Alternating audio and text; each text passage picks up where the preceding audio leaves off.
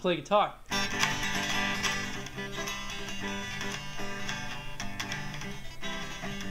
I'm playing guitar, I'm playing guitar, I'm playing guitar, I'm playing guitar, playing guitar, playing guitar, playing guitar, playing guitar, playing guitar, playing guitar, playing guitar all day long.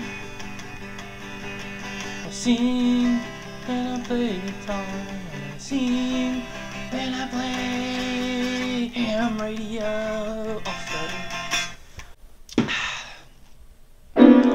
So yeah, that was that. Um, I like to play piano and I like to play guitar. I also like to play drums, but I'm not playing drums because I don't have a drum set and I'm actually selling my cymbals. If you would like to have a whole set of ZBTs and an extra free Sabian B8 cymbal that looks kind of cruddy, I'm trying to polish them. Didn't ask because I don't want them anymore. Um, but yeah, school's done, so I'm kind of happy. Still got to work. Calc 2 at SCA was St. Charles Community College at SCA. It was fun, not because, I mean, no, there was no homework. It was all tests and all mathematica exercises. So that means I'm getting ready to go back down to S&T. Got to get a lot of stuff to get ready to do. Hopefully I get into Calc 3. I'll be in the first circuits class. I'll be in, I don't know, physics 23. Circuits are not, whatever. Calc 3 and Physics 23 is like the most deadliest combination of ST. So I probably, probably, I hope I got Calc 2 because like I'm banking on failing next year. Not really, but yeah, I might. In ham radio world, uh, my most recent column was about radio sport. Radio sport's my favorite things in the whole world to do, even though you know I haven't I haven't gotten on the radio in a, quite a while. But uh, one thing I didn't mention in it was radio direction finding. RDFing is like one of the coolest things. Like I don't know, it's a sport. It's an actual sport. Like people go out and they'll race to find a transmitter and and you know just to do it because it's it's the art. It's a technique. It's the it's skill along with you know endurance and, and all that stuff that pays off in the end and it's really like I said in, in a lot in that column playing sports and playing games is all to hone our skills um, especially ham radio because we play on the radio to hone our skills as communicators uh, we radio direction find to hone our skills as rescue radio operators as in finding lost beacons or people with beacons who are lost in the mountains or in the ocean or whatever. And also finding those number stations and CBers who.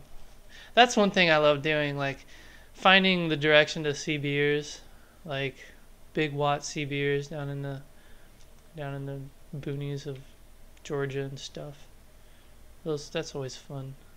So Triple E, W0 Triple E is getting back into force right now. Like we're going through 100 emails, going through like a battery backup system. I don't know where it came from. I mean, started off with Barry. He like emailed about when the power went out over at S&T because of bad storm. Uh, TJ went out, or yeah, TJ went out. But they have a backup generator, and so like the only downtime is about six seconds. But we still like are thinking about a backup generator, or not generator, backup battery, which would be cool. But you know, it's not that necessary. So a friend Joe says, you know, just use a an uninter- like one of those cheap twenty five dollar uh, uninter- uninterrupted power supplies with a little battery in it, because really backup generator is going to kick in for it. Anyway, anywho, because there's police repeaters on up in the TJ penthouse, which is this. This is where we uh, have all our repeater equipment. We share it with the MS&T PD, I think. There's also a few up antennas up there, like, like up here, but I don't know what they're there for. One of them's actually not even connected. Just keep an eye out for the next column. Keep an eye out for more videos. I'm thinking about making some series, like a series of ham radio videos, something that no one has done before. Keep an eye out. I don't know. And throw me ideas for the columns because I love it when I get emails. But this last column hasn't made too much email progress. So email me. I like it. I love emails. I love responding to your emails. And also, congratulations to Kaitlyn Cole, K3SP, for getting the Ham of the Year award. I met this uh, eighth grader. I don't know. I think she's a ninth grade or tenth grade or something. It's like 15. I can't remember. I met her at Dayton at the youth forum.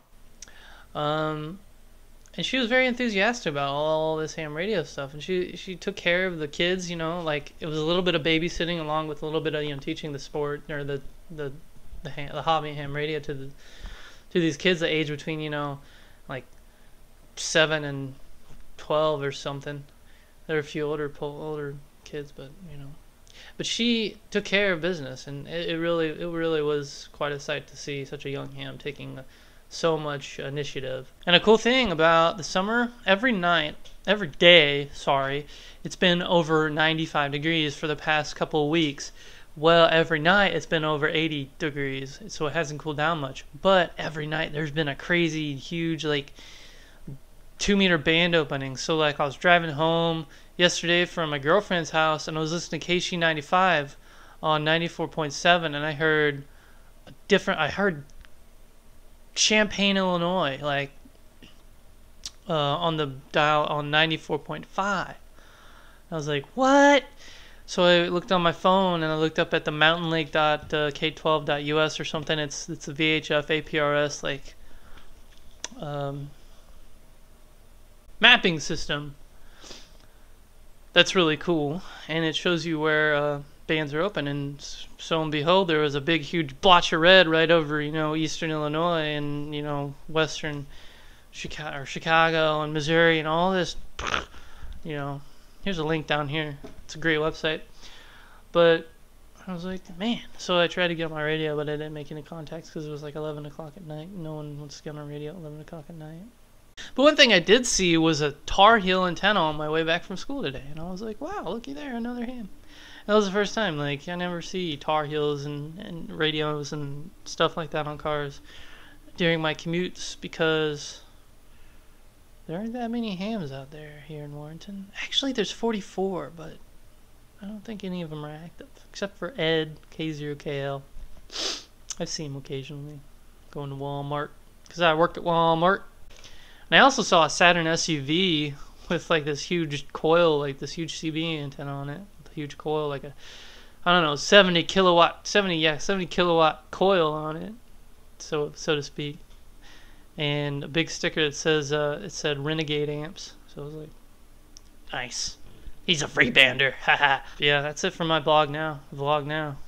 I don't have anything else to say. I'm gonna go make this vlog because I haven't posted to YouTube in like a million years. 73.